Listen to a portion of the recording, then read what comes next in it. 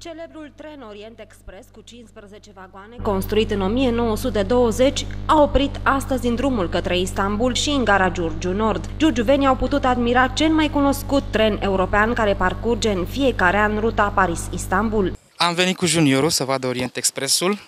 Uh, e prima dată și pentru el și pentru noi și e ceva interesant, mai mult pentru copil. E, vede ceva nou. Foarte interesant. Deși am o vârstă, n-am văzut până acum. Și am venit cu nepotul să vadă el, dacă noi nu am văzut.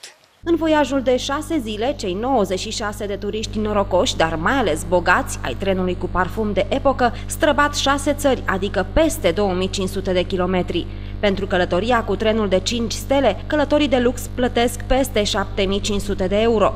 Luxosul Orient Express nu s-a încadrat deloc în peisajul dezolant oferit de gara Giurgiu Nord, câtă vreme niciunul dintre ei nu a coborât pe peronul gării. Cel mai luxos tren va putea fi din nou admirat sâmbătă 8 septembrie la întoarcerea către Paris.